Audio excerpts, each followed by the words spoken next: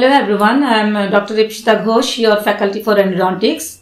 Today the topic of our discussion is uh, theories of caries. By now you all know about the definition of caries. So coming to the theories, first you can divide broadly as etiological theories. So first one is early theories, endogenous theories, then third is exogenous theories. So if you tell theories, then you can divide according to etiology. According to etiology, which is broadly divided again early theories, then endogenous theories, then exogenous theories. Okay. Under early theories, we have legend of worm theories. Worm theories. In this, um, we have humoral theory and vital theory. Under this exogenous, here comes all the theories. So, main, there are lots of theories under this exogenous heading. We have chemical theories. Then we have parasitic theories. Then we have acidogenic theory. Acidogenic theory. Then we have proteolytic theory or proteolysis theory, whatever, lytic or lysis, and proteolytic chelating theory, chelation theory, proteolytic chelation theory, all this. Okay, so here you just remember this is the most accepted one. Which one? The most accepted one is acidogenic theory. Okay, so here is the early theories that is the worm theories. In this theory they have said there is worm inside the root root canal or inside the tooth. This is the only concept they have given. They say there is only uh, worm present in the uh, tooth. This is the endogenous theory as I have mentioned. You can divide it into two parts, humoral theory and then vital theory. Here they have said we have uh, four we have uh, four body fluids. Okay? Uh, here one is phlegm. Sorry here. Phlegm. Then black bile then yellow bile yellow bile and body fluids. When there is discrepancy in the balance of these four then there is um, or any other disease or any uh, uh, any other disease or caries. Okay. So they uh, discuss this like this imbalance of these four humors. Okay. So this is the humoral theory. Then comes the vital theory here they said tooth decay originated like bone gangrene within the tooth itself then comes the chemical theory under the heading of exogenous theory as I have mentioned in the previous flowchart. It was proposed by Parmly in 1819. Who given the uh, chemical theory? Apparently in 1819. Okay. Here they said chemical agent was responsible for caries. Very simple. They have indicated that uh, there is some chemical agent which is responsible for caries. Then comes the parasitic theory. It was given by Erdl, Erdl in 1843 which describes filamental parasite. They described filamental parasite. Sorry. They described filamental parasite here you can see filamental parasites in the surface of the membrane of the teeth. Ficinus observed the filamentous microorganisms which are called denticoli. Okay. So this is the parasitic theory given by Erdl in 1843. Then this is the most accepted one, acidogenic theory. This question might come, who has given this theory W.B. Miller in 1890. Miller in 1890. This acidogenic theory is also termed as Miller's theory. Acid formed due to the fermentation of dietary carbohydrates by oral bacteria leads to progressive decalcification of the tooth structure within subsequent disintegration of organic matrix. So, this is the reason for this uh. Okay, they have discussed like this. Here three important factors which can influence process of tooth destruction in process of dental caries. Number one is dietary carbohydrates. Number two is microorganism and number three is acid. But there are certain limitations in this. What are the limitation? Number one, they did not predict the size, site, specific site they could not, could not predict. Then they also could not explain smooth surface caries. And they could not explain why some population are caries free.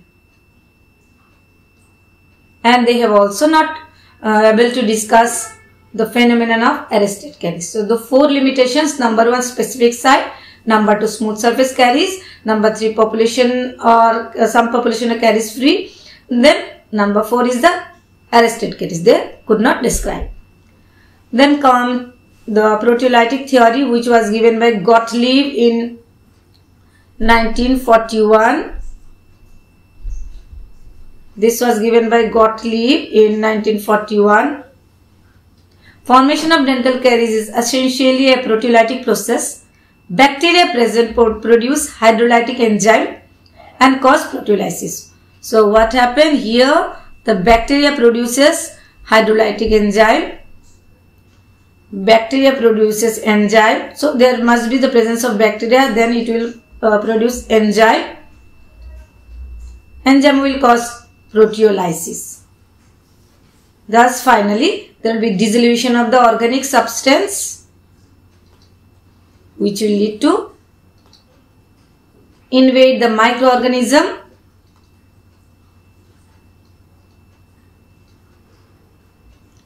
then there will be formation of caries but they have also said it should be slightly alkaline pH Okay, yellow pigmentation of dental caries is because of pigment produced by the proteolytic enzyme. So this is the proteolytic theory. Here are certain limitations again. Uh, in this, in vitro studies did not probe the proteolytic process of caries. Proteolytic bacteria are uncommon in oral cavity. We, we cannot find any proteolytic bacteria in our oral cavity.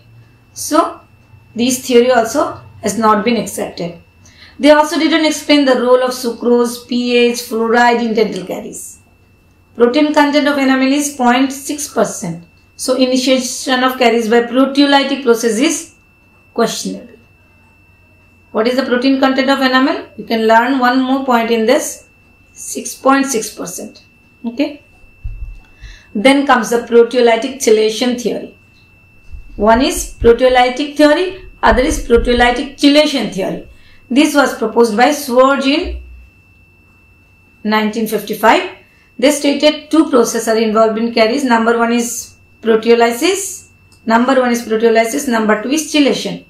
So the bacterial attack on the surface of the enamel results in the uh, uh, breakdown of the protein, chiefly keratin, and results in the formation of soluble chelates uh, with calcium, which decalcifies enamel.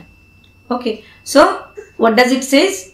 Here the bacteria will attack, bacteria will attack the enamel, bacteria will attack the enamel, there will be breakdown of uh, protein breakdown, breakdown, then there will be uh, keratin formation,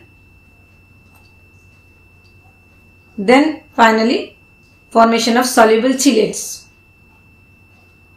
Chelates with calcium. Then this will lead to dissolution or decalcification of decalcification of enamel. Understood? So this is the proteolytic chelation theory. Here the limitations are they failed to make a mention of sugar and acid production.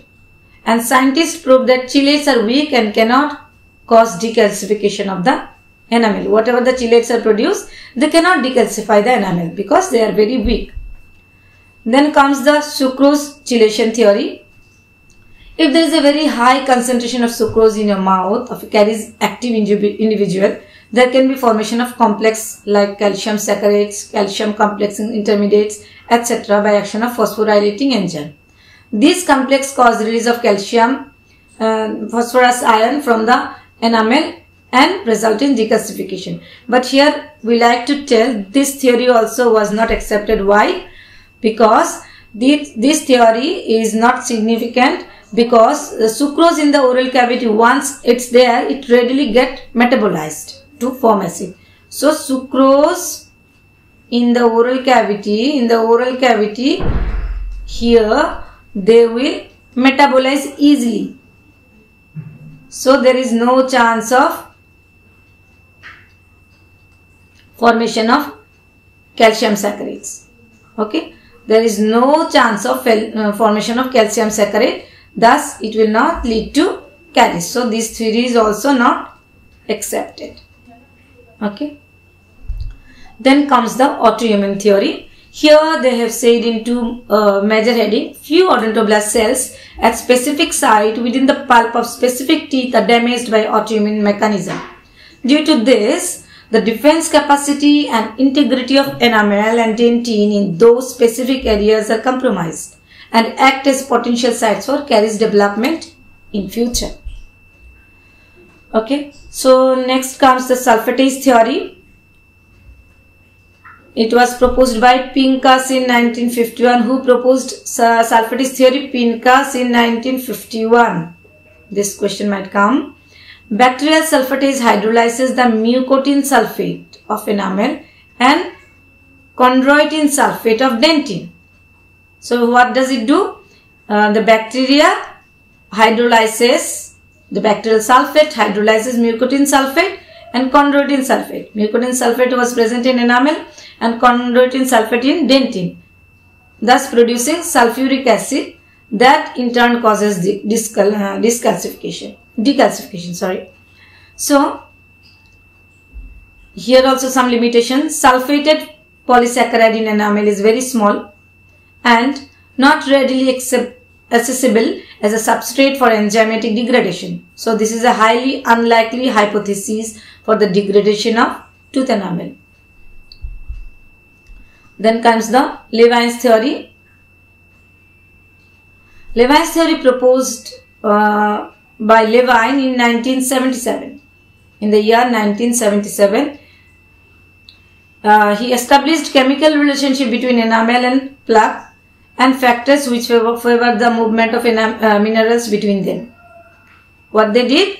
They established the relation between enamel, then plaque and other factors like triamcinolone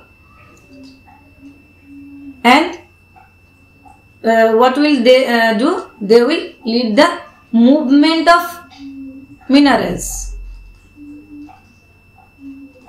It is also known as seesaw mechanism. Levine's theory is also known as seesaw mechanism.